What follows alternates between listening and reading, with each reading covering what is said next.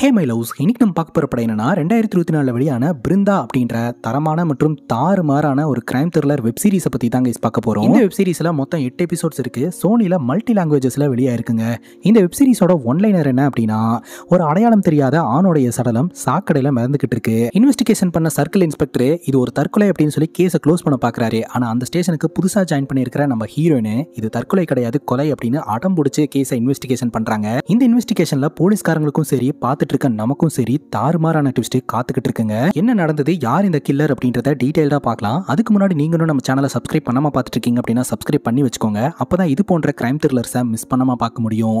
நீங்க பார்த்துட்டு இருக்கிறது சரண் என்டர்டைன்மெண்ட் நான் தான் சரண். வாங்க வீடியோக்குள்ள போடலாம் இந்த படத்தோடைய கதை ஆயிரத்தி தொள்ளாயிரத்தி தொண்ணூத்தி ஆறுல இருந்து தொடங்குதுங்க. கங்காவரம் ஃபாரஸ்ட் அப்படின்ற ஒரு ஃபாரஸ்ட் ஏரியால சின்னி அப்படின்ற ஒரு பொண்ணு தன்னுடைய அண்ணனான சாச்சியை தேடி அலைஞ்சுக்கிட்டு இருக்கா. ஆக்சுவலா சின்னியோட அண்ணன் பேரு சத்யா. இவ எப்போதுமே சாச்சி சாச்சின்னு தான் செல்லமா கூப்பிடுவா. அந்த வகையில் இவங்க ரெண்டு பேரும் விளையாடிட்டு இருந்தவங்க அவங்க அண்ணனை காணமே அப்படின்னு சொல்லிட்டு தேடி அலைய ஆரம்பிக்கிறா. பார்த்தா ஒரு இடத்துல அவங்க அண்ணன் செத்து கிடக்குறான். சாச்சி சாச்சி எனக்கு பயமா இருக்கு சாச்சி. எழுந்திருச்சாச்சி அப்படின்னு சொல்லிட்டு இவ கிட்ட உட்காந்து அழுவ ஆரம்பிக்கிறா. டக்குன்னு சத்யா கண் முடிச்சுட்டு பூ சும்மா உன்னை பயம்படுத்தினேன் அப்படின்ற மாதிரி விளையாட்டு காமிச்சிக்கிட்டு இருக்கான். எதுக்கு நான் இந்த மாதிரிலாம் பண்ணிட்டு இருக்கேன் எனக்கு ரொம்ப பயமா இருக்கு அப்படிங்கும்போது சரி சரி பயப்படக்கூடாது. அண்ணன் உன்னை விட்டு எங்கேயும் போக மாட்டேன் அப்படின்னு சொல்லிட்டு ஒரு சின்ன மரபொம்மையை அதாவது சத்யா தன் கைப்பட செஞ்சிருப்பான் போல அந்த மரபொம்மையை கிஃப்டா கொடுத்து இதை வச்சுக்க அப்படின்னு சொல்லிட்டு அண்ணனும் தங்கச்சியும் ஹாப்பியா வந்துகிட்டு இருக்காங்க. பேசிக்கா இவங்க மலைவாழ் மக்கள் கைஸ் இந்த கிராமத்துல பாத்தீங்கன்னா ஒருத்தர் வந்து மர்மமான முறையில் இறந்து போயிட்டாரு. அவரோட உடம்பெல்லாம் பார்க்கறதுக்கு ப்ளூ கலரில் இருக்கு. என் புருஷன் மர்மமான முறையில் இறந்து போயிட்டான் அப்படின்னு சொல்லிட்டு அவருடைய டெட் பாடியை வச்சுட்டு எல்லாம் அழுதுகிட்டு இருக்காங்க அப்போ வந்த சாமியார் பார்த்தீங்கன்னா இவருடைய டெத்து பார்க்கும்போது ரொம்ப வித்தியாசமாக இருக்குது. கடவுள் ரொம்ப கோவமாக இருக்காங்க. ஸோ அந்த கோவத்தோட வெளிப்பாடு தான் இது. இன்னும் கொஞ்ச நாளில் இந்த கிராமத்தில் இருக்கக்கூடிய ஒவ்வொருத்தங்களா சாக போகிறோம் இங்கே இருக்கக்கூடிய மரம் செடி எல்லாமே வந்து கருகி போகுது. நம்ம எல்லோருக்குமே ஆபத்து அப்படின்னு இந்த சாமியார் சொல்கிறாரு இதை சரி பண்ணுறதுக்கு என்ன சாமி பண்ணுறது அப்படின்னு இந்த கிராமத்தினர்கள் கேட்குறாங்க ஒரே வழி கடவுளை சந்தோஷப்படுத்துறது தான் கடவுளை சந்தோஷப்படுத்தணும் அப்படின்னா பலி கொடுக்கணும் அப்படிங்கும்போது பலியா அப்படின்னு எல்லோருமே பார்க்குறாங்க ஆமாம் அப்படின்ட்டு இந்த சாமியார் கையை நீட்டுறாருங்க. அந்த இடத்துல இந்த சத்யா சின்னியோட அம்மா நின்றுட்டு இருக்கிறாங்க ஆனா அப்படின்னு கேட்க ஒன்றும் இல்லை உன்னோட பொண்ணை அப்படின்னு சொல்லி சொல்ல அவங்க பயங்கர ஷாக் ஆகுறாங்க. அதாவது நம்ம சத்யாவோட தங்கச்சி சின்னியை பலி கொடுத்தா மட்டும்தான் இந்த கிராமத்தில் நடக்கக்கூடிய அடுத்தடுத்த கொலைகளையும் கிராமத்தோடைய அழிவையும் தடுக்க முடியும் அப்படின்னு இந்த சாமியார் சொல்லிக்கிட்டு இருக்கிறாருங்க. உடனே சின்னியோட அம்மா வந்து என் பொண்ணை விட்டுருங்க. என்ன வேணா பலி கொடுத்துருங்க. என் பொண்ணை விட்டுருங்க அப்படின்னு சொல்லி கெஞ்சுறாங்க. ஆனால் இந்த சாமியார் கேட்குற மாதிரி இல்லை. இந்த கிராமத்தினர்களும் பார்த்தீங்கன்னா அந்த பொண்ணை பலி கொடுக்கறதுக்கு தயாராகிறாங்க. அந்த சாமியார் சொன்ன மாதிரி என் தங்கச்சியை பலி கொடுக்க போறீங்களாமா அப்படின்னு கேட்கும்போது அது நடக்கவே நடக்காது அப்படின்ட்டு ராத்திரியோட ராத்திரியா இவங்க ஊரை விட்டே ஓடிடலான்னு முடிவெடுக்கிறாங்க. அந்த வகையில் நம்ம சின்னியை அவங்க அம்மா இடுப்பில் வச்சுக்கிட்டு ஓடிக்கிட்டு இருக்காங்க. பின்னாடியே சத்தியா வந்துகிட்டு இருக்கிறாருங்க அப்போ சின்னி தான் கையில் வச்சிருக்கிற அந்த மரபொம்மையை கீழே போட்டுறா நான் எடுத்துட்டு வரேன் நீங்கள் போங்க அப்படின்னு சொல்லிட்டு சத்யா அதை எடுக்கிறதுக்காக போயிடுறாருங்க. அந்த டைமில் ஊர்க்காரங்களுக்கெல்லாம் விஷயம் தெரிஞ்சு அப்படியே துரத்திட்டே வர ஆரம்பிக்கிறாங்க. அப்போ நம்ம சின்னியோட அம்மா சின்னியை அங்கே நின்றுட்டு இருந்த ஒரு லாரியில் போட்டுட்டு அப்படியே கீழே விழுந்துடுறாங்க. அந்த லாரியும் கிளம்பி போயிடுது அதுக்கப்புறம் கிராமத்தினர்கள் நம்ம சின்னியோட அம்மாவை பிடிச்சிடுறாங்க. சத்யா பார்த்தீங்கன்னா அவங்க அம்மாவை தேடி அந்த காட்டுக்குள்ளேயே சுற்றிக்கிட்டு இருக்கிறாரு. அங்கே கட் பண்ணால் இப்போ ப்ரெசன்ட் சுச்சுவேஷன் நம்ம ஹீரோனை காட்டுறாங்க. ஹீரோனுடைய பேர் பிருந்தாங்க. நம்ம ஹீரோனுடைய அப்பா ரகுராம் இறந்து போனதுனால அவருடைய போலீஸ் வேலை நம்ம ஹீரோனுக்கு கிடச்சிருக்கு. ஒரு ஸ்டேஷனில் எஸ்ஐயா இவங்க ரிப்போர்ட் பண்ண போகிறாங்க அந்த வகையில் காலையில் எழுந்திரிச்சு ஜாகிங்லாம் போயிட்டு வழக்கம் போல் டியூட்டிக்கு தயாராகிட்டு இருக்காங்க. ஹீரோனோட வீட்டில் யாரெல்லாம் இருக்காங்க அப்படின்னா ஹீரோயின் ஹீரோனுடைய அம்மா மற்றும் தங்கச்சி தங்கச்சியோட பேர் சுக்கிங்க. தங்கச்சிக்கு நம்ம ஹீரோயின்னா சுத்தமாக ஆகவே ஆகாது. ஹீரோயின் வந்து அங்கே டேபிளில் உட்காந்தாங்கனாலே தங்கச்சி பாட்டுக்கு எழுந்து போயிடுவாங்க இவ ஸ்கூல் படிக்கக்கூடிய ஒரு பொண்ணாக தாங்க இருந்துகிட்டு இருக்கா. என்னதான் தங்கச்சி தன்னை அளவுக்கு அதிகமாக வெறுத்தாலும் தங்கச்சி மேலே நலனையும் அக்கறையும் பார்த்தீங்கன்னா ஹீரோயின் வச்சுக்கிட்டு தாங்க இருப்பாங்க. இவ ஸ்கூலுக்கு கிளம்பி போகும்போது இவளை கூட்டிகிட்டு போகிறதுக்காக ரெண்டு பசங்க பைக்கில் வந்திருக்கானுங்க. அந்த பசங்களை பின்னாடி உட்கார வச்சு இவ பைக்கை ஓட்டிட்டு போறாங்க. அப்போ ஜன்னல் வழியில் இது எல்லாத்தையுமே நம்ம ஹீரோயின் பார்க்குறாங்க அந்த வண்டி நம்பரை மைண்ட்லேயே ரிஜிஸ்டர் பண்ணிக்கிறாங்க. கொஞ்சம் சேர்க்க சரியில்லாமல் சுத்திக்கிட்டு இருக்கா அப்படின்ற மாதிரி தான் நமக்கு தெரியுது. அங்கே கட் பண்ணா ஹீரோயின் ரிப்போர்ட் பண்ணக்கூடிய ஸ்டேஷனை காட்டுறாங்க. அங்கே பார்த்தீங்கன்னா எஸ்ஐ எஸ்ஐயா சாரதி அப்படின்ற ஒருத்தர் ஒர்க் பண்ணிட்டு இருக்காரு கிட்டத்தட்ட எட்டு வருஷமும் ஒரே போஸ்டிங்ல இருந்துட்டு இருக்காரு இவருடைய ப்ரொமோஷனுக்காக நீண்ட நாட்களாகவே காத்துக்கிட்டு இருக்காருங்க ஸோ கரெக்டாக நம்ம ஹீரோயின் ஸ்டேஷனுக்கு வராங்க. அங்கே இருக்கக்கூடிய அதிகாரிங்க குட் மார்னிங் சொன்னா கூட ஹீரோயின் பெருசாக ரெஸ்பான்ஸே பண்ண மாட்டேன்றாங்க. அவங்க தான் திருப்பி ரெஸ்பான்ஸ் பண்ண மாட்டாங்கன்னு தெரியுதுல்ல. அப்புறம் எதுக்காக போய் சொல்லிட்டு இருக்கீங்க அப்படின்னு சாரதி கேட்டுட்டு இருக்காரு இப்போ கூப்பிடுவாங்க பாருங்க மேடம் என்ன? அப்படின்னு அங்கே இருக்கிற அதிகாரி சொல்றாருங்க. கரெக்டாக ஹீரோயின் ரெஜிஸ்டர் எங்க அப்படின்னு அவர்கிட்ட கேட்க பார்த்தீங்களா கூப்பிட்டாங்களா? அப்படின்ட்டு அந்த ரிஜிஸ்டர் கொண்டு போய் கொடுக்க ஹீரோனும் அட்டண்டன்ஸில் சைனை போட்டுட்டு அவங்க டேபிளில் போய் உட்காந்துடுறாங்க இவங்க டேபிளுக்கு பக்கத்தில் தாங்க வாஷ்ரூம் இருக்குது ஒரு அதிகாரி பயன்படுத்திட்டு டோர் அப்படியே ஓப்பனில் விட்டுட்டு போயிடுறாரு. ஹீரோயின் அதுக்கப்புறம் எழுந்து போய் டென்ஷன்லேயே அந்த டோரை லாக் பண்ணிட்டு வந்து தான் உண்டு தான் வேலை உண்டுன்னு அமைதியாக வேலை பார்த்துட்டு இருப்பாங்க. யாரு கூடயுமே பெருசாக பேசவே மாட்டாங்க. தனியாக தான் உட்காந்துக்கிட்டு இருப்பாங்க. அந்த நேரம் பார்த்து சர்க்கிள் இன்ஸ்பெக்டர் ஸ்டேஷனுக்கு வராரு. ஸ்டேஷனில் இருக்கிற எல்லோருமே வணக்கம் வைக்கிறாங்க. ஆனால் நம்ம ஹீரோயின் மட்டும் ஒர்க் பண்ணிட்டு இருக்காங்க அப்போ அவர் பாட்டுக்கு நின்று பார்த்துக்கிட்டு இருக்க சாரதி சிக்னல் கொடுத்து உடனே நம்ம ஹீரோயின் எழுந்துருச்சு வணக்கம் வைக்கிறாங்க. அதுக்கப்புறம் இந்த சர்க்கிள் இன்ஸ்பெக்டர் ரூமுக்கு போறாருங்க. இந்த சர்க்கிள் இன்ஸ்பெக்டர் பற்றி சொல்லணும் அப்படின்னா இவர் பயங்கரமான சோம்பேறிங்க. இந்த ஸ்டேஷனில் ஏகப்பட்ட ஏகப்பட்ட கேஸ் இருக்குதுங்க. ஆனால் அதை சால்வ் பண்ணணுன்ற இன்ட்ரெஸ்ட்டே இவருக்கு கிடையாதுங்க. மாசம் மாசம் சம்பளம் வந்தால் போதும். அது போக இவங்க கலெக்ஷன் மூலமாக கலெக்ட் பண்ணிட்டு இருக்கக்கூடிய பணத்தையும் இவர் பிடிங்கி வச்சுக்குவாருங்க. இவருக்கு ஒரு வீக்னஸ் இருக்குதுங்க. இருட்டுனா பயம் பவர் கட் ஆயிடுச்சுன்னு வைங்களேன் உடனே ஸ்டேஷன் விட்டு வெளியே வந்து நின்றுவாரு. அதை சரி பண்ணாதான் இவர் ஸ்டேஷனுக்குள்ளேயே வருவாரு. கரெக்டாக ஸ்டேஷனில் பவர் கட் ஆயிடுச்சு. இந்த சர்க்கிள் இன்ஸ்பெக்டரும் வெளியே போயிட்டாரு. எலக்ட்ரிஷனை கூப்பிடுங்கன்னு கத்திக்கிட்டு இருக்காரு உடனே ஹீரோயின் பாட்டுக்கு எழுந்துச்சு போய் அந்த ஃபியூஸை ரெடி பண்ணி ஸ்டேஷனுக்கு கரண்ட்டை கொண்டு வந்துடுறாங்க. அங்கே கட் பண்ணால் பால் வியாபாரி ஒருத்தர் அப்படியே ஒதுங்கலாம் அப்படின்னு சொல்லிட்டு சாக்கடை கிட்ட போயிருக்காரு அந்த இடத்துல ஏதோ ஒன்று மிதந்துட்டு இருக்கு அப்படின்ட்டு உடனடியாக போலீஸ்க்கு தகவலை கொடுக்க இந்த சாக்கடை பார்த்தீங்கன்னா ஹீரோயின் ரிப்போர்ட் பண்ணிட்டு இருக்காங்க இல்லையா? அந்த லிமிட்ல தான் வருது. அதனால போலீஸ்காரங்க அந்த இடத்துக்கு வராங்க. அடையாளம் தெரியாத ஒரு ஆணுடைய சடலம் மறந்துகிட்டு இருக்குங்க. ஸோ இவர் இறந்து ஒரு வாரம் இருக்கு அப்படின்ற மாதிரி ஃபாரன்ஸ் டிபார்ட்மெண்ட் கணிக்கிறாங்க. முதல்ல பார்த்தா அந்த நபர்கிட்ட நம்ம சாரதி இன்வெஸ்டிகேஷன் பண்ணிட்டு இருக்க. இந்த சர்க்கிள் இன்ஸ்பெக்டருக்கு இவன் நம்மளோட பர்ஃபார்ம் பெர்ஃபார்ம் பண்ணிட்டு இருக்கான்ட்டு சாரதி கிட்ட நீ போய் டீ வாங்கிட்டு வா அப்படின்னு துரத்தி விட்டுட்டு ஃபாரன்சிக் டிபார்ட்மெண்ட் ஆளுங்க கிட்ட ஏதாவது குழு கிடைச்சது அப்படின்னு கேட்க அவங்க சொல்றாங்க இவர் இறந்து ஒரு வாரம் இருக்குன்னு எங்களுக்கு தோணுது. எலி பெருச்சாலி எல்லாம் வந்து சாக்கடைக்குள்ள இருந்து வந்து நல்லா விருந்து சாப்பிட்டுருக்கு. இந்த டெட் பாடியை எடுத்துகிட்டு போயிட்டு லேபில் வச்சு டெஸ்ட் பண்ணாதான் மற்ற டீட்டெயில்ஸ் எல்லாம் கிடைக்கும் சார் அப்படின்னு சொல்ல இந்த சர்க்கிள் இன்ஸ்பெக்டர் சொல்கிறாரு உன்னோட டவுட் எல்லாத்தையும் இஷ்டத்துக்கு போஸ்ட்மார்ட்டம் ரிப்போர்ட்டில் கொடுத்துறாத அப்புறம் எங்களுக்கு தலைவலி ஆயிரும் எனக்கு தெரிஞ்சு இது தற்கொலை தான் அதுக்கேற்ற மாதிரி ரிப்போர்ட்டை போடு அப்படின்னு சொல்ல கரெக்டாக அந்த இடத்துக்கு சாரதி சார் டீ அப்படிங்கும்போது இந்த இடத்துல மனுஷன் டீ குடிப்பானாயா? சீக்கிரம் ரிப்போர்ட்டை வாங்கிட்டு வந்து சரியா? அப்படின்னு சொல்லிட்டு அவர் பாட்டுக்கு கிளம்பி போயிடுறாரு. சர்க்கிள் இன்ஸ்பெக்டரை பொறுத்த வரைக்கும் அவரும் எந்த வேலையும் செய்ய மாட்டாரு சுற்றி இருக்கிறவங்களும் பெர்ஃபார்ம் பண்ணி மேலே வந்துடக்கூடாதுன்னு நினைக்கக்கூடிய ஒரு ஆளுங்க. நம்ம ஹீரோயின் கிரைம் சீனில் க்ரௌட் மேனேஜ்மெண்ட் தான் பண்ணிட்டு இருப்பாங்க அப்போ டெட் பாடியை ஹாஸ்பிட்டலுக்கு எடுத்துகிட்டு போகிறதுக்காக ஆம்புலன்ஸ்க்கு கொண்டு போய் வைப்பாங்க. அப்போ தான் நம்ம ஹீரோயின் அந்த டெட் பாடியை கவனிப்பாங்க. அப்போ சில விஷயங்கள்லாம் நம்ம ஹீரோயினோட மைண்டில் ரிஜிஸ்டர் பண்ணிக்கிறாங்க. ராத்திரி போலீஸ்காரங்கெல்லாம் ஒரு டீ கடையில் நின்று டீ குடிச்சிக்கிட்டு இருப்பாங்க. அப்போ சாரதி பார்த்தீங்கன்னா மேடம் நாங்களும் ஸ்டேஷனுக்கு தான் போகிறோம் எங்கள் கூடயே வருவீங்களாமா டீ குடிக்கிறீங்களா? அப்படின்னு சொல்லி கேட்டு டீ வாங்கி தருவாங்க. அப்போ பார்த்தீங்கன்னா எல்லோருமே இது கண்டிப்பாக தற்கொலையாக தான் இருக்கும் அப்படின்னு சொல்லி டிஸ்கஸ் பண்ணிட்டு இருப்பாங்க. ஹீரோயின் இது தற்கொலை கிடையாது மோடர் அப்படின்றாங்க. எதை வச்சு சொல்கிறீங்க அப்படின்னு சொல்லி கேட்க டெட் பாடி மேலே செங்கல் வச்சிருந்த மார்க்கை பார்த்தேன். அது இல்லாமல் கத்தியால் குத்தப்பட்ட தடயத்தையும் பார்த்தேன். கில்லர் விக்டமை கத்தியால் குத்தி கொலை பண்ணியிருக்கிறான். சாக்கு பையில கட்டி செங்கலோட இந்த சாக்கடைக்குள்ளே இறக்கியிருக்கிறான். எலி கடிச்சதில் அந்த சாக்கு பை ஓப்பன் ஆகி டெட் பாடி வெளியே வந்திருக்கு. அப்படின்னு சொல்ல இதெல்லாம் நம்புற மாதிரியா இருக்குன்னு சொல்லிட்டு அவங்க சிரிச்சுக்கிட்டு இருக்காங்க. ஆக்சுவலாக நம்ம ஹீரோனுடைய அப்பா இறந்து போனதுனால தான் ஹீரோனுக்கு இந்த வேலை கிடைச்சிருக்குது. ஆனாலும் இவங்க எக்ஸாம் எல்லாம் எழுதி பாஸ் பண்ணி தான் இந்த இடத்துக்கு வந்திருக்காங்க. பட் இவங்களுக்கு ப்ராக்டிக்கல் நாலேஜ் எல்லாம் கிடையாது. சும்மா வாய்க்கு வந்ததை அடிச்சு விட்டுட்டு இருக்காங்க அப்படின்ற மாதிரி தான் எல்லாரும் பார்த்துட்டு இருக்காங்க. நாள் மார்ச்சரியில இருந்து கால் வருது. சாரதியும் சர்க்கிள் இன்ஸ்பெக்டரும் போறாங்க. அங்கே தாங்க ஒரு அதிர்ச்சி. நம்ம ஹீரோன் என்னென்னலாம் சொன்னாங்களோ அது எல்லாமே டாக்டர் சொல்றாரு. அது போக எக்ஸ்ட்ரா பாயிண்ட்ஸையும் சொல்றாரு. விக்டம் மொட்டை அடிக்கப்பட்டிருக்கிறாரு அவருடைய பின்தலையில இரும்பு ராடால அடிக்கப்பட்டிருக்கிறாங்க. அதுக்கப்புறம் அவர் கடத்தப்பட்டு பதினஞ்சு முறை கத்தியால குத்தப்பட்டு கொலை செய்யப்பட்டிருக்கிறாருங்க. ஆனால் சாவறதுக்கு கொஞ்ச நாளைக்கு முன்னாடி எதுவுமே சாப்பிடல. விச் மீன்ஸ் அவரை கட்டி போட்டு டார்ச்சர் பண்ணி தான் கில்லர் கொலை பண்ணியிருக்கிறான். இவருடைய கழுத்து பகுதியில் ஒரு காயம் இருக்குது. அது எதுக்கு அடிச்சு உருவான காயம்னே எங்களால் கணிக்க முடியல. அப்படின்னு சொல்ல எஸ்ஐ சாரதிக்கும் சரி சர்க்கிள் இன்ஸ்பெக்டருக்கும் சரி பயங்கர ஷாக்காக இருக்குது ஏன்னா இந்த கேஸை க்ளோஸ் பண்ணணும்னு தான் நினச்சாங்க. இப்போ மர்டர்னு தெரிய வரும்போது இப்போ என்ன பண்ணுறதுன்னு யோசனை பண்ணுறாங்க அது மட்டும் இல்லாமல் விக்டம் யாருன்னே தெரியலங்க. அதனால் இது வரைக்கும் அந்த காணாமல் போன வழக்கு எல்லாத்தையுமே செக் பண்ணணும் அப்படின்னு சொல்லி செக் பண்ண ஆரம்பிக்கிறாங்க. அப்போ நம்ம ஹீரோயின் சாரதி டியூட்டியை முடிச்சுட்டு கிளம்பும்போது இந்த போஸ்ட்மார்ட்டம் ரிப்போர்ட்டை நான் பர்சனலாக வீட்டுக்கு எடுத்துகிட்டு போய் செக் பண்ணிட்டு வரலாமான்னு கேட்க சரி மேடம் ரிஜிஸ்டரில் சைனை போட்டுட்டு எடுத்துகிட்டு போங்க அப்படிங்கும்போது ஹீரோனு பார்த்தீங்கன்னா அந்த ரிப்போர்ட்டெல்லாம் எடுத்துகிட்டு போய் வீட்டில் செக் பண்ண ஆரம்பிக்கிறாங்க. அப்படி செக் பண்ணி பார்க்கும்போது இறந்து போனவருடைய காலில் ஒரு சில காயங்கள் இருந்திருக்கு. இந்த மாதிரியான காயங்கள் ரயில்வேஸில் வேலை பார்க்குறவங்களுக்கு தான் இருக்கும் அப்படின்ட்டு அடுத்த நாள் ஸ்டேஷனுக்கு வந்து சாரதி கிட்ட நம்ம எல்லா மிஸ்ஸிங் ரிப்போர்ட்டையும் செக் பண்ணணும்னு அவசியம் கிடையாது. ரயில்வேஸில் வேலை பார்த்து காணாம போனவங்களோட மிஸ்ஸிங் ரிப்போர்ட்ஸை மட்டும் எடுத்தா போதும் அப்படின்னு சொல்லிட்டு அந்த ரிப்போர்ட்ஸை மட்டும் எடுத்து காணாம போனதாக கம்ப்ளைண்ட் கொடுக்கப்பட்டவங்களோட உறவினர்களை வர சொல்லி ஐடென்டிஃபை பண்ண சொல்றாங்க. அதுல ஒரு அம்மாவும் பொண்ணும் அந்த இடத்துக்கு வந்து பயங்கரமா அழுவ ஆரம்பிக்கிறாங்க. ஸோ இது என்னோட கணவர் தான். என்னோட கணவருடைய காது பிறந்ததுலேருந்தே இப்படி தான் இருக்கும் அப்படின்னு சொல்ல உடனே ஹீரோயின் ஒரு வாட்டிக்கு ரெண்டு வாட்டி கன்ஃபார்மாக சொல்லுங்க. இது உங்களோட கணவர் தானா? அப்படின்னு கேட்க அவங்களும் கன்ஃபார்மாக இது என்னோட கணவர் தான் அப்படின்னு சொல்லிடுறாங்க. ஸோ எப்போ காணாம போனாங்க அப்படின்லாம் கேட்க அவங்க பேசிக்கான டீட்டெயில்ஸ் எல்லாம் சொல்றாங்க. உங்க கணவருக்கோ உங்க குடும்பத்துக்கோ எதிரிங்க யாராவது இருக்காங்களா? அப்படின்னு கேட்க அந்த மாதிரிலாம் யாருமே இல்லை அப்படின்னு இறந்து போனவருடைய மனைவி சொல்லிடுறாங்க. நம்ம சர்க்கிள் இன்ஸ்பெக்டர் சும்மாவே கேஸை க்ளோஸ் பண்ணணும்னு நினைப்பாரு. இந்த வழக்கில் ஒன்றுமே கிடைக்கலன்னு சொல்லிட்டு கேஸை க்ளோஸ் பண்ண பண்ணுறாருங்க ஆனால் சாரதியும் சரி ஹீரோனும் சரி கொஞ்சமாவது ட்ரை பண்ணி பார்க்கலாம் அப்படின்னு நினைக்கிறாங்க. ஆனால் சர்க்கிள் இன்ஸ்பெக்டர் கேஸை க்ளோஸ் பண்ணியே ஆகணும் அப்படின்றாரு. ஸோ அவரை மீறி எதுவுமே பண்ண முடியாதுன்னு சொல்லிட்டு இவங்களும் சைலண்ட்டாக இருக்காங்க. ஆனால் ஹீரோயினால் பொறுக்க முடியலங்க. ராத்திரி ஃபுல்லாக அந்த கேஸ் ஃபைல்ஸ் எல்லாம் எடுத்து வச்சு பார்த்துட்டு இருக்காங்க. அப்போ தான் ஹீரோனுக்கு ஒரு யோசனை தோணுது. அதாவது இவருடைய டெட் பாடி இந்த ஒரு பர்டிகுலர் ஏரியாவில் கிடச்சிது அப்படின்னா இந்த சாக்கடை எங்கிருந்து ஃப்ளோ ஆகுது? எங்கெங்கெல்லாம் நிலப்பரப்பு இருக்குது அப்படின்னு சொல்லிட்டு அந்தந்த இடத்துக்கெல்லாம் ஹீரோயின் தனியாகவே போய் இன்வெஸ்டிகேஷனை நடத்துகிறாங்க போலீஸ் வண்டி எடுத்துக்கிட்டு. ஸோ எங்கே எங்கேயுமே பார்த்தீங்கன்னா இவங்களுக்கு எந்த ஒரு லீடும் கிடைக்கல. ஆனால் ஒரே ஒரு பர்டிகுலர் இடத்துல சந்தேகத்துக்கு இடமான ஒரு பறவையோட இறகு கிடைக்குதுங்க. அது நம்ம ஊரில் இருக்கக்கூடிய யூஸ்வலான பறவையோட இறகு மாதிரியே இல்லை. ரொம்பவே வித்தியாசமாக இருந்திருக்கு சைஸும் பெருசாக இருந்திருக்குது.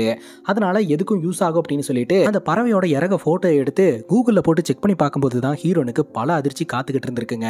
அந்த பறவை பார்த்தீங்கன்னா ரொம்ப ரேரான பறவை. அது நம்ம ஊர்லலாம் வாழாது அதே சமயம் இது மனுஷங்களை சாப்பிடும் அப்படின்ற மாதிரியும் சொல்கிறாங்க ஸோ இந்த பறவை கிடைச்சதுன்னா புண்ணு இப்படி தான் இருக்கும் அப்படின்னு சொல்லிட்டு ஒரு சில ஃபோட்டோஸ் எல்லாம் கூகுளில் இருக்குதுங்க. அந்த ஃபோட்டோஸையும் இந்த டாக்டர் பார்த்தீங்கன்னா கழுத்தில் என்னமோன்னு கடிச்சிருக்குது விக்டமை. அது என்னன்னு தெரியலன்னு சொல்லியிருந்தார் இல்லையா? அந்த ஃபோட்டோவையும் கம்பேர் பண்ணி பார்த்தா ரெண்டும் ஒரே மாதிரி இருக்குது. ஸோ இந்த பறவையை வச்சு தான் கில்லர் வந்து இந்த நபரை கொண்டிருக்கான் அப்படின்றத நம்ம ஹீரோயின் கண்டுபிடிக்கிறாங்க. அங்கே கட் பண்ண கில்லரை நம்ம கிட்ட காமிச்சிடுறாங்க. கில்லர் கொஞ்சம் மனநோயாளி மாதிரி தாங்க தெரியுது. இவர் நேராக குகை மாதிரி இருக்கக்கூடிய இடத்துக்கு போறாரு. உனக்கா என்ன வாங்கிட்டு வந்திருக்கிற பாரு இங்கே வா அப்படின்னு சொல்லி கூப்பிட உடனே கூண்டுக்குள்ள இருந்து ஒரு பறவை வருதுங்க. இவர் வாங்கிட்டு வந்த அந்த மீட்டை பார்த்தீங்கன்னா அது சாப்பிடுது. அதுக்கப்புறம் கையில் ஒரு மரம் மரபொம்மையை வச்சுக்கிட்டு நிலாவை பார்த்துட்டு இவர் பேசிக்கிட்டு இருக்கிறாருங்க. அந்த மரபொம்மை படத்தோட ஸ்டார்டிங் சீனில் சின்னிக்காக சத்யா செஞ்சு கொடுத்த அந்த மரபமைங்க அங்கே கட் பண்ணால் ஃப்ளாஷ்பேக்கை காட்டுறாங்க. சின்னியை நரபலி கொடுக்க போகிறாங்க அப்படின்னு சொல்லிட்டு சின்னியோட அம்மா ஒரு லாரியில் ஏற்றி விட்டுருப்பாங்க. அப்போ சின்னியோட பொம்மை கீழே விழுந்துருச்சுன்னு சத்யா அந்த பொம்மை எடுக்கிறதுக்காக போயிருந்திருப்பான். அந்த டைமில் பார்த்தீங்கன்னா லாரி வழியில் சின்னி தப்பிச்சிட்டா ஊர்க்காரங்கெல்லாம் பார்த்தீங்கன்னா நம்ம சின்னியோட அம்மாவை சிறப்பிடிச்சு கூட்டிகிட்டு வந்துட்டாங்க. அப்போது சின்னி இல்லைனா என்ன? வேற ஒரு பொண்ணை பலி கொடுக்கலாம் அப்படின்னு சொல்லிட்டு வேற ஒரு பொண்ணை பார்த்தீங்கன்னா கிராமத்து முன்னாடி வச்சு தீய வச்சு கொளுத்திடுவாங்க. அதே சமயம் அவங்க பொண்ணை தப்பிக்க வச்ச காரணத்திற்காக நம்ம சின்னியோட அம்மாவையும் கொண்டுருவாங்க எல்லாம் முடிஞ்சதுக்கப்புறம் அந்த இடத்துக்கு சத்யா வருவார். சத்யாவோட கண் பார்வைக்கு தன்னோட அம்மாவையும் தங்கச்சியும் இந்த கிராம மக்கள் வந்து கடவுள் அப்படின்ற பேரை சொல்லி கொண்டுட்டாங்க அப்படின்னு சொல்லிட்டு கடும் கோபம் கொண்டு தீப்பந்தத்தை எடுத்துகிட்டு போய் மொத்த கிராமத்துக்கும் தீயை வச்சு கொளுத்திடுவாருங்க. ஸோ அந்த தீ விபத்தில் மொத்த கிராமமும் எரிஞ்சு சாம்பலாகவும் கிட்டத்தட்ட முப்பத்தி ரெண்டு பேர் இறந்து போவாங்க. அந்த மரபொம்மை பார்த்தீங்கன்னா சத்யா சின்னிக்காக செஞ்சது. சின்னியோட ஞாபகமாக அந்த மரபொம்மை மட்டும்தான் இருக்குது. அது இப்போ ப்ரெசன்ட் சுச்சுவேஷனில் கில்லர் கையில் இருக்குது அப்படின்னா இந்த கில்லர் தான் சின்னியோட அண்ணன் அப்படின்றது நமக்கு தெரிய வருதுங்க. அங்க கட் பண்ணா எஸ்ஐ சாரதியோட வீட்டை காட்டுறாங்க. எஸ்ஐ சாரதிக்கும் அவருடைய மனைவிக்கும் திருமணமாகி ரொம்ப வருஷம் ஆயிடுச்சுங்க. உங்களுக்கு குழந்தையே இல்லை. அதனால சாரதியோட மாமியார் பார்த்தீங்கன்னா ஏதோ ஒன்று சொல்லி திட்டிக்கிட்டே இருப்பாங்க. அங்கே போங்க இங்கே போங்கன்னு சொல்லிட்டு. சாரதியோ அவங்க மனைவி கிட்ட சாயந்தரம் டாக்டர் கிட்ட அப்பாயின்மெண்ட் வாங்கி வை நம்ம போய் பார்த்துட்டு வந்துடலாம் அப்படின்னு சொல்லிட்டு ஸ்டேஷனுக்கு கிளம்பி போறாரு. நம்ம ஹீரோனுக்கு அவ்வளோ கியூரியாசிட்டியாக இருக்குது. தான் கண்டுபிடிச்ச லீடை நம்ம சாரதி கிட்ட சொல்லணும் அப்படின்ட்டு. சாரதி ஸ்டேஷனில் எல்லா வேலையுமே முடிச்சுட்டு என்ன அப்படின்னு சொல்லி கேட்குறாரு ஹீரோன் எக்ஸ்பிளைன் பண்ணுறாங்க இந்த மாதிரி இந்த கொலை வழக்கில் பேர்டு ஒன்று சம்மந்தப்பட்டிருக்கு. ஸோ பேர்டு ஆங்கிள் இருந்து நம்ம விசாரிச்சோம்னா கண்டிப்பாக இந்த கொலையாளியை கண்டுபிடிக்க முடியும் அப்படின்ட்டு. ஆனால் சர்க்கிள் இன்ஸ்பெக்டர் இந்த கேஸை க்ளோஸ் பண்ண சொல்கிறாரு நம்மளால் எதுவுமே பண்ண முடியாது அப்படிங்கும்போது இல்லை கொலை பண்ண பேட்டர்ன்லாம் பார்க்கும்போது அவன் பயப்படாமல் பண்ணியிருக்கான். எனக்கு தெரிஞ்சு ஆல்ரெடி கொலை பண்ணவன் தான் இதை பண்ணியிருப்பான் அப்படின்ற மாதிரிலாம் வந்து ஹீரோன் சொல்லிட்டு இருக்காங்க. கரெக்டாக சர்க்கிள் இன்ஸ்பெக்டர் அங்கே வந்து உங்கள் ரெண்டு பேருக்குள்ள என்ன பிரச்சனை அப்படின்னு சொல்லி கேட்க உடனே எஸ்ஐ சாரதி பார்த்தீங்கன்னா அதெல்லாம் ஒன்றும் இல்லை அப்படின்ற மாதிரி சொல்லி சமாளிச்சிடுறாரு. இல்லாட்டி சர்க்கிள் இன்ஸ்பெக்டர் ஹீரோனை திட்டுவார் அப்படின்னு சொல்லிட்டு. ஆனால் ஹீரோன் விடுறதா இல்லைங்க. பர்சனல் இன்ட்ரெஸ்ட் எடுத்து இந்த வழக்கை இன்வெஸ்டிகேஷன் பண்ணிக்கிட்டு தான் இருக்கிறாங்க. இப்போ நம்ம ஹீரோனுடைய தங்கச்சியை காட்டுறாங்க. அவங்க ஸ்கூலில் ஆள் நடமாட்டம் இல்லாத இடத்துல தங்கச்சியோட ஃப்ரெண்ட்ஸ் ரெண்டு பேர் தம் அடிச்சுக்கிட்டு இருக்காங்க. அந்த இடத்துக்கு ஹீரோனோட தங்கச்சி போகும்போது ஹீரோனோட தங்கச்சிக்கிட்டையும் தம்மா கொடுத்து அடிக்க சொல்கிறாங்க அவளும் அடிக்கிறாங்க. ஸோ தொடர்ந்து இந்த பசங்க கூட சேர்ந்து தப்பான விஷயத்தையெல்லாம் பண்ணிக்கிட்டு இருக்கா. ஈவினிங் லேட்டாக தாங்க வீட்டுக்கு வரா. வந்த உடனே பார்த்தீங்கன்னா ஹீரோனுடைய அம்மா திட்டுறாங்க. ஏன் லேட்டு அப்படின்னு சொல்லிட்டு எதுக்கு என்கிட்ட கேள்வியெல்லாம் கேட்டுட்டு இருக்கீங்க உங்களுக்கு அவ்வளோ தானே பிடிக்கும். அவ மேலேயே போய் மொத்த பாசத்தையும் காட்டுங்க. அப்படின்ற மாதிரி சண்டைங்க. ஹீரோனுடைய அம்மா எனக்கு நீங்கள் ரெண்டு பேரும் ஒன்று தான் அப்படின்னு சொல்லி திட்டிக்கிட்டு இருப்பாங்க. இந்த கில்லரை காட்டுறாங்க. பஸ் ஸ்டாண்டில் ஒரு இடத்துல சிக்கன் ரைஸ் வாங்கிட்டு இருக்கான். அப்போ ஒரு கிளி ஜோசியக்காரர் இங்கே வா கிளி வந்து உனக்கு ஜோசியம் பார்த்து சொல்லும் அப்படிங்கும் போது இவனும் போய் உட்காந்துடுறான் அப்போ அந்த கிளி ஒரு நோட்டீஸை கொடுக்குது கடவுள் இதை சொல்கிறாரு அதை சொல்கிறாரு இதை பண்ணு அதை பண்ணு அப்படிங்கும்போது அப்போ நீ எதுவும் சொல்லலையா? கடவுள் தான் சொல்கிறாரா அட போடா அப்படின்னு சொல்லிட்டு இவன் பாட்டுக்கு எழுந்து வந்துடுறான். அதுக்கப்புறம் சிக்கன் ரைஸை வாங்கி சிக்கனை மட்டும் ஃபில்டர் பண்ணி எடுத்து வச்சுட்டு இருக்கான் இந்த பறவைக்கு எடுத்துகிட்டு போகிறதுக்காக அது மட்டும் இல்லாமல் அங்கே நின்றுட்டு இருந்த பஸ் டிரைவரை ஒரு மாதிரி குறு குருன்னு இவன் பார்த்துக்கிட்டு இருக்காங்க. அப்படியே கட் பண்ணால் நம்ம ஹீரோனுடைய ஃப்ளாஷ்பேக்கை நம்ம கிட்ட காட்டுறாங்க. ஆக்சுவலாக ஹீரோனுடைய அப்பா டிபார்ட்மெண்ட்டில் இருக்கும்போது வழக்கமான ரோந்து பணியில் ஈடுபட்டு இருப்பாரு அப்போது ஒரு ஆயில் லாரியில் பார்த்தீங்கன்னா ஒரு சின்ன குழந்தை இருக்கிறத கண்டுபிடிப்பாரு. அந்த சின்ன குழந்தை வேற யாரும் கிடையாது. இந்த சின்னி அப்படின்ற அந்த வனப்பகுதியிலிருந்து தப்பிச்சு வந்த பொண்ணு தான் அந்த பொண்ணு வேற யாரும் கிடையாதுங்க. நம்ம ஹீரோயினுங்க. ஆக்சுவலாக நம்ம ஹீரோயின் அந்த லாரியிலிருந்து ஹீரோனுடைய அப்பா கையில் கிடைச்ச வரைக்கும் ஞாபகம் இருக்குது ஆனால் அதுக்கு முன்னாடி என்ன நடந்தது? அவங்க வாழ்க்கையில் யாரெல்லாம் இருந்தாங்க? எங்கேருந்து வந்தாங்கன்னு எதுவுமே அவங்களுக்கு ஞாபகம் இல்லை. அடிக்கடி இந்த மாதிரி கெட்ட கனவெல்லாம் வரும். கவுன்சிலிங் போனாலும் இவங்க நார்மல் தான் அப்படின்ற மாதிரி சொல்லிடுவாங்க இப்போ நம்ம ஹீரோயின் சாரதி கிட்ட இது கொஞ்சம் சீரியஸாக எடுத்துக்கோங்க. நாம நினச்சிக்கிட்டு இருக்கோம் இது வந்து தனிக்கொலை அப்படின்ட்டு. ஆனால் கில்லர் கொலை பண்ணியிருக்கிற பேட்டர்னை பார்க்கும்போது ரொம்ப பர்ஃபெக்டாக இருக்குது கண்டிப்பாக இவனுக்கு கொலை பண்ணி பழக்கம் இருக்குது இதுக்கு முன்னாடியும் சரி இதுக்கப்புறமும் சரி கொலை பண்ணுறதுக்கு நிறைய வாய்ப்பு இருக்குது நாம் ஒரு சீரியல் கில்லரை வெளியே சுத்த விட்டுக்கிட்டு இருக்கிறோம். அப்படின்ற மாதிரி சொல்ல இப்போ என்ன எல்லா கேஸ் ஃபைல்ஸையும் எடுத்து பார்க்கணுமா அப்படிங்கும்போது இல்லை இல்லை எல்லா கேஸ் ஃபைல்ஸையும் எடுத்து பார்க்க தேவையில்ல. இதே மாதிரியான பேட்டர்னுக்கு சிமிலராக இருக்கக்கூடிய கேஸ் ஃபைல்ஸ் எடுத்து பார்த்தா மட்டும் போதும் அப்படின்ட்டு நம்ம ஹீரோயின் ஸ்டேஷனில் இருக்கக்கூடிய கேஸ் ஃபைல்ஸ் எல்லாம் எடுத்து பார்க்க ஆரம்பிக்கிறாங்க. ஆக மொத்தம் சின்னின்னு சொல்லக்கூடிய பொண்ணு பிருந்தாவா மாதிரி போலீஸ் ஆஃபீஸர் ஆயிட்டா சாச்சின்னு சொல்லக்கூடிய சத்யா பார்த்தீங்கன்னா இந்த ஊருக்குள்ள சீரியல் கில்லராக சுற்றிக்கிட்டு இருக்கான் அப்படின்றது நமக்கு தெரியுதுங்க. வழக்கம் போல் நம்ம ஹீரோயின் இன்வெஸ்டிகேஷனுக்கு போயிட்டு கொஞ்சம் லேட்டாக தான் ஸ்டேஷனுக்கு வராங்க. இப்போ சர்க்கிள் இன்ஸ்பெக்டர் ஒரு மீட்டிங்கை போட்டு எல்லாத்திட்டையும் பேசிட்டு இருக்க ஏன் லேட்டு அப்படின்னு சொல்லி கேட்க இந்த மாதிரி இந்த வழக்கில் எனக்கு லீடு கிடைச்சிருக்கு. அப்படிங்கும்போது இந்த வழக்கை க்ளோஸ் பண்ண சொல்லிட்டேன்ல அது எதுக்காக இன்வெஸ்டிகேஷன் பண்ணிட்டு இருக்க? அப்படிங்கும்போது இல்லை சார் நான் பெரிய லீடு ஒன்று கண்டுபிடிச்சிருக்கேன். அப்படிங்கும்போது இந்த சர்க்கிள் இன்ஸ்பெக்டர் டென்ஷன் ஆகி கத்த ஆரம்பிச்சிடுறாருங்க. இது ஏன் ஸ்டேஷனு இங்கே ஸ்டேஷன் ஹெட் நான் தான். நான் சொல்கிறத தான் நீங்கள் கேட்டு நடந்துக்கணும். நீங்கள் சொல்கிறத நான் கேட்டு நடந்துக்க கூடாது ஸ்டேஷனில் ஒரு பெண் போலீஸ் ஆஃபீஸர் இருக்கணும் அப்படின்றது ஸ்டாண்டர்ட் அதுக்காக மட்டும்தான் நீ இருக்கிறியே தவிர உன்னுடைய சேவை எங்களுக்கு தேவையே இல்லை அப்படின்ற மாதிரி திட்டி விட்டுறாருங்க. அதுக்கப்புறம் பார்த்தீங்கன்னா இந்த சர்க்கிள் இன்ஸ்பெக்டர் வாஷ்ரூம் யூஸ் பண்ணுறதுக்காக உள்ளே போக டக்குன்னு ஹீரோயின் டோரை லாக் பண்ணி லைட் ஆஃப் பண்ணி விட்டுருவாங்க. அவர் உள்ளே நின்று கத்திக்கிட்டு இருப்பாரு. இப்படிப்பட்ட ஒருத்தர் தான் உங்களுக்கு ஸ்டேஷன் ஹெட்டாக இருக்கிறாரு அப்படின்றத சொல்லாமல் ஹீரோயின் சொல்லுவாங்க. உடனே சாரதி வந்து ஏன் மேடம் கொஞ்சம் சைலண்ட்டாக இருங்க அப்படின்னு சொல்லிட்டு லைட் ஆன் பண்ணி டோர் ஓப்பன் பண்ணி விட்டு சாரி சார் டோர் ஜாம் ஆயிடுச்சு அப்படின்னு சமாளிச்சிருவாருங்க. அங்கே கட் பண்ணா நேற்று இந்த கில்லர் பார்த்தீங்கன்னா ஒரு பஸ் டிரைவரை டார்கெட் பண்ணிட்டு இருந்தான் இல்லையா? அந்த பஸ் டிரைவரோடைய பையன் பார்க்கில் விளையாடிக்கிட்டு இருப்பான். அவன் கிட்ட போயிட்டு ஒரு பொம்மைக்காரை கொடுத்துட்டு இங்கே பாரு உங்கள் அப்பா சப்போஸ் வராமல் போயிட்டாரு அப்படின்னா நீ பயப்படக்கூடாது. ஒழுங்காக படிக்கணும் வாழ்க்கையில் முன்னேறணும் என்ன? அப்படின்னு சொல்ல இந்த பையனும் சரின்னு கேட்டுப்பான். கரெக்டாக அந்த இடத்துக்கு அந்த பையனுடைய அப்பா நடந்து வந்துகிட்டு இருப்பாரு. இந்த கில்லர் பாட்டுக்கு அந்த இடத்துல இருந்து எழுந்து போயிடுவான் யாரா இந்த பொம்மை கொடுத்தா? அப்படின்னா அவங்க அப்பா கேட்க இதோ அவர் தான் அந்த அங்கிள் தான் அப்படின்ற மாதிரி அந்த பையன் காட்டுவான். ஆனால் அந்த கில்லர் அந்த இடத்துல இருந்து நகர்ந்து போயிடுவான் ஸோ இதுலேருந்தே தெரியுது அந்த பஸ் டிரைவரை இந்த கில்லர் டார்கெட் பண்ண போகிறான் அப்படின்ட்டு. அந்த பஸ் டிரைவருடைய பேர் அப்துலுங்க. அங்கே கட் பண்ண நம்ம ஹீரோயின் பல ஸ்டேஷனில் வேலை பார்க்குற ஸ்டாஃப் கிட்டலாம் காசு கொடுத்து இந்த கத்தி குத்து கேஸ் எல்லாத்தையுமே வந்து வாங்கி செக் பண்ணி பார்த்துக்கிட்டு இருப்பாங்க. அதில் தாறுமாறான ஒரு லீடை கண்டுபிடிப்பாங்க. அதை வந்து சாரதி கிட்ட எக்ஸ்பிளைன் பண்ணுறாங்க ஆக்சுவலாக நான் நினச்சது சரிதான். இதுக்கு பின்னாடி ஒரு சீரியல் கில்லர் இருக்கிறான். அவனுடைய பேட்டர்ன் எந்த மாதிரி இருக்குது அப்படின்னா விக்டம் அட்டாக் பண்ணுறான் அட்டாக் பண்ணி அந்த விக்டமுக்கு மொட்டை அடிச்சு அதுக்கப்புறம் கத்தியால் குத்தி கொலை பண்ணுறான் கொலைக்கு ஒரு பறவையும் பயன்படுத்திக்கிட்டு இருக்கான். ஸோ நமக்கு தெரிஞ்ச வரைக்கும் இந்த மொட்டை அடிச்ச ஒரு நபர்னால கில்லர் பாதிக்கப்பட்டிருக்கலாம். அதனால ரேண்டமான ஆட்களை எல்லாம் கடத்தி மொட்டை அடிச்சு அந்த நபர் மேல இருக்கக்கூடிய கோவத்தை இந்த நபர் மேல காட்டி கொலை பண்ணிக்கிட்டு இருக்கிறான். கடந்த ஒன்பது வருஷத்துல பதினாறு மர்டர்ஸ் இதே மாதிரி நடந்திருக்கு. இதுக்கு பின்னாடி இருக்கிறது ஒருத்தன் தான் அப்படின்ற ஒரு பெரிய பிரேக் த்ரூவை ஹீரோயின் கண்டுபிடிக்கிறாங்க. ஸோ இந்த விஷயத்தை பார்த்தீங்கன்னா சர்க்கிள் இன்ஸ்பெக்டர் கிட்ட கொண்டு போய் காட்டும்போது சர்க்கிள் இன்ஸ்பெக்டர் எல்லா விஷயத்தையுமே உதறி தள்ளுறவர் இந்த விஷயத்தை கொஞ்சம் சீரியஸாக எடுத்துக்கிட்டு மேல் இடத்துக்கு கொண்டு போறாருங்க. ஸோ மேல் இடத்துல ஏசிபியை போய் பார்க்கும்போது அவர் சூப்பரான ஒரு விஷயத்தை கண்டுபிடிச்சிருக்கிறீங்க. எஸ்ஐடி டீம் ஒன்று ஃபார்ம் பண்ணி சீக்கிரமாக அந்த கில்லரை பிடிக்கலாம் அப்படின்னு சொல்லி முடிவெடுக்கிறாங்க. அந்த டீமில் சாரதி மற்றும் இந்த சர்க்கிள் இன்ஸ்பெக்டர் இருக்க போகிறதாவும் சொல்கிறாங்க இந்த எஸ்ஐடி டீமில் வேலை பார்க்குறது பல போலீஸ்காரங்களோட ட்ரீமாவே இருக்குங்க. சாரதி கேட்குறாரு பிருந்தாவும் நம்ம டீம் தானே சார் அப்படின்னு சொல்லிட்டு. இது பிருந்தாவா? அவளை வேணா பார்க்குக்கும் பீச்சுக்கும் கூட்டு போ இன்வெஸ்டிகேஷனுக்கெல்லாம் கூட்டு வந்துடாத அப்படின்னு சொல்லி சர்க்கிள் இன்ஸ்பெக்டர் பிருந்தாவை சேர்த்திக்க மாட்டேன்றாரு. ஹீரனுடைய மொத்த எஃபர்ட்டுமே இந்த சர்க்கிள் இன்ஸ்பெக்டர் உறிஞ்சுக்கிறாருங்க. அது மட்டும் இல்லாமல் சாரதி வந்து சப்போர்ட் பண்ணணும்னு நினச்சா கூட ப்ரொமோஷனில் அவர் கை வச்சிருவாரு அப்படின்னு சொல்லிட்டு சாரதியும் பயப்படுறாருங்க. அங்கே கட் பண்ணா இந்த கில்லரை காட்டுறாங்க. அப்துல் அப்படின்னு சொல்லக்கூடிய அந்த பஸ் டிரைவரை இவன் டார்கெட் பண்ணுறான் இவன் கையில் அடிபட்டிருக்கிற மாதிரி கையில் கட்டெல்லாம் போட்டுக்கிட்டு அந்த வழியாக வந்து அப்துல் கிட்ட இதை எடுத்து வைக்கிறதுக்கு கொஞ்சம் உதவி பண்ணுறீங்களா அப்படின்னு கேட்க அப்துலும் உதவி பண்ணுறாரு அவரை இரும்பு ராடால் அட்டாக் பண்ணி அங்கேருந்து கிட்னாப் பண்ணிடுறாங்க.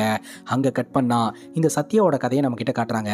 சத்யா பார்த்தீங்கன்னா அந்த மொத்த கிராமத்தையும் எரிச்சதுக்கப்புறம் இந்த சிறுவர் சீர்திருத்த பள்ளியில் வந்து சேர்றாருங்க.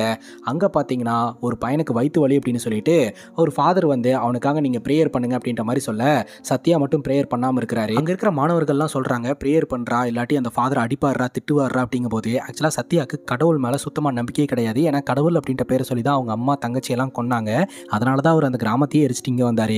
இங்கே வந்துட்டு ஒரு கடவுளை ப்ரேயர் பண்ணுங்க போது இவனுக்கு கோவம் தான் வருது. கடவுளே கிடையாது. அவனை குணப்படுத்தணும்னா நீங்கள் தான் குணப்படுத்தணும் அப்படின்னு சொல்ல எதிர்த்து பேசுறியா? கடவுள் இருக்குன்னு நம்புற வரைக்கும் இந்த இருட்டு ரூமில் தான் இருக்கணும்னு சொல்லிட்டு அதுக்குள்ளே வச்சு அடி அடி நடிச்சிருந்துருக்காங்க அதுக்கப்புறம் ராத்திரி தான் ஓப்பன் பண்ணி விட்டுருந்துருக்காங்க அங்கே கட் பண்ணால் இப்போ ப்ரெசன்ட் சுச்சுவேஷனில் இந்த கில்லரை காட்டுறாங்க. இந்த கில்லர் பஸ் டிரைவர் அப்துல்லா ஒரு இடத்துல கட்டி போட்டு வச்சிருக்கான். அந்த இடத்துல பார்த்தீங்கன்னா ஒரு சாமி ஃபோட்டோ ஒன்று இருக்குதுங்க. இவன் பார்த்தீங்கன்னா அப்படியே கிட்ட வந்து அந்த சாமி ஃபோட்டோவை திருப்பி விட்டுறான். ஸோ கடவுளை தான் இவனுக்கு சுத்தமாகவே பிடிக்காது. இப்போ அப்துல் வந்து யாரா நீ? உனக்கு என்னடா வேணும்? எதுக்குடா என்ன கடத்தின? அப்படிங்கும்போது இவன் அப்துல் கிட்ட மிரட்டுற மாதிரி பேசாமல் கெஞ்சுற மாதிரி பேசுகிறாங்க எனக்கு உன்னுடைய பஸ்ஸு வேணும். அதனால தான் உனக்கு கடத்தினேன். அப்படிங்கும்போது பஸ்ஸு தானடா? எடுத்துக்கடா. என்னை உயிரோட விட்டுடுறா. அப்படிங்கும்போது எடுத்துக்கவா நான் ஓட்டணும். அப்படிங்கும்போது ஓட்டிக்கடா. அப்படின்ற மாதிரி அப்துல் சொல்ல சரி சரி. ஆனாலும் நான் உன்னை உயிரோடலாம் விட முடியாது. அப்படின்னு சொல்லி சொல்லிட்டு இவன் ரெகுலராக கொலை பண்ணுவான் இல்லையா? அந்த பேட்டனை பயன்படுத்தி அப்துலையும் கொடூரமான முறையில் கொலை பண்ணிடுறாங்க. அதுக்கப்புறம் அவன் வச்சிருக்கிற அந்த பறவைக்கு அப்துல்லா உணவாகவும் கொடுக்குறான். அதுவும் பார்த்தீங்கன்னா கரெக்டாக அந்த கழுத்துக்கிட்ட வந்து கொத்தி சாப்பிட்டுட்டு போயிடுது இப்போ எஸ்ஐ சாரதிக்கு ரொம்ப கில்ட்டாக இருக்குதுங்க. அவ்வளோ ஹார்ட் ஒர்க் பண்ணி இந்த வழக்கை அடுத்த கட்டத்துக்கு கொண்டு வந்தது நம்ம ஹீரோயின் தான். சர்க்கிள் இன்ஸ்பெக்டர் வந்தாரு பெஞ்ச் தேய்ச்சாரு. கடைசியில் எல்லா கிரெடிட்டையும் வாங்கிட்டு போயிட்டாரு. அப்படியே அவர் வந்து இந்த டீமில் இன்வெஸ்டிகேஷன் பண்ணாலும் ஒரு யூஸும் கிடையாது அப்படின்ட்டு ஏசிபியை மீட் பண்ணி நான் கம்ப்ளைண்ட் பண்ணுறேன்னு நினச்சிக்காதீங்க சார் நான் ரியாலிட்டியை சொல்லிடுறேன் அப்படின்னு சொல்லிட்டு எல்லாத்தையும் சொல்லிடுறாரு. உடனே ஏசிபி பார்த்தீங்கன்னா பேசுகிற விதத்தில் பேசிக்கலாம் அப்படின்ட்டு இந்த மாதிரி உங்கள் ஸ்டேஷனில் நிறைய பெண்டிங் கேஸ் இருக்கு இல்லையா? கேஸ் எல்லாம் நீங்கள் இருந்தால் தான் சால்வ் பண்ண முடியும். அதனால் உங்கள் ஸ்டேஷனில் சும்மா இருக்கிற எஸ்ஐ பிருந்தாவை நாங்கள் இந்த டீமில் சேர்த்துக்கிறோம் அப்படின்ற மாதிரி சொல்லி நம்ம ஹீரோயினை இந்த டீமுக்குள்ளே வர வச்சுருவாங்க. ஸோ இந்த டீமில் நம்ம ஹீரோனும் எஸ்ஐ சாரதியும் இருக்க போகிறாங்க சர்க்கிள் இன்ஸ்பெக்டரை தூக்கி வெளியே வீசிட்டாங்க.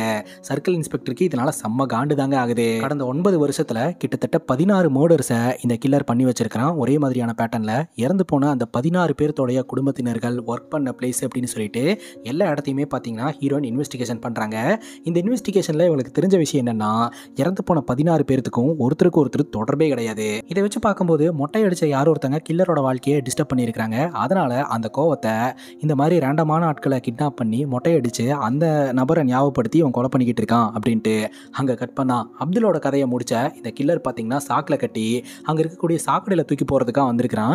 சக்ஸஸ்ஃபுல்லாக தூக்கியும் போட்டுட்டான். அப்போ கரெக்டாக ரோந்து பணியில் ஈடுபட்டு இருந்த போலீஸ்காரங்க ரெண்டு பேர் யாரா நீ என்னடா பண்ணிட்டு இருக்க? அப்படின்னு கேட்க இந்த கில்லர் உண்மையை சொல்லிடுறாங்க. டிரைவரோட கதையை முடிச்சு சாக்கில் கட்டி ஆற்றுல போட்டுட்டேன் அப்படின்ட்டு என்னடா சொல்கிறேன் எங்கடா போட்ட? அப்படின்னு சொல்லிட்டு போலீஸ்காரங்க வந்து செக் பண்ணி பார்த்தா அந்த இடத்துல தம்முன்னு கிடைக்கும். சார் இவன் கஞ்சா அடிச்சுட்டு உளறிக்கிட்டு இருக்கான் சார் அப்படின்னு சொல்லிட்டு இந்த கில்லரை கஞ்சா கேஸில் தூக்கிட்டு போயிடுவாங்க. அவன் ஒரு மினி டோரில் தான் வந்திருப்பான். அந்த மினி டோரையும் பார்த்தீங்கன்னா போலீஸ்காரங்க எடுத்துட்டு ஸ்டேஷனுக்கு கொண்டு போயிடுவாங்க. இப்போ எஸ்ஐ சாரதி அவரோட பொருளை எடுத்துகிட்டு போகிறதுக்காக ஸ்டேஷனுக்கு வந்திருப்பாரு. அப்போ சர்க்கிள் இன்ஸ்பெக்டர் பார்த்துருவாரு நடிச்சதெல்லாம் போதும். பிருந்தாவை பற்றி ஏசிபிக்கு எப்படி தெரியும்? நீ சொல்லி தானே தெரியும். நீ கண்டிப்பாக மறுபடியும் இந்த ஸ்டேஷனுக்கு வருவல்ல. அப்போ என்னோட பவர் என்னன்னு உனக்கு தெரியும் அப்படின்னு இந்த சர்க்கிள் இன்ஸ்பெக்டர் சாரதியை மிரட்டிக்கிட்டு இருக்கிறாருங்க. அங்கே கட் பண்ணால் ஹீரோனுடைய தங்கச்சியை காட்டுறாங்க.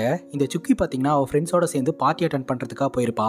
அங்கே ஒரு பையன் பார்த்தீங்கன்னா சுக்கி கிட்ட இன்ட்ரெஸ்ட் காட்டுவான். இவகிட்ட வந்து இன்ட்ரோ ஆவான். இவளும் பார்த்தீங்கன்னா இன்ட்ரோ ஆகிட்டு ரெண்டு பேரும் சேர்ந்து டான்ஸ் ஆடலாம் அப்படின்னு சொல்லிட்டு குடிச்சிட்டு அந்த இடத்துல ஜாலியாக டான்ஸ் ஆடிக்கிட்டு இருப்பாங்க. அங்கே கட் பண்ணால் எஸ்ஐ சாரதியோட வீட்டுக்கு நம்ம ஹீரோயின் வந்திருப்பாங்க சாப்பிட்றதுக்காக.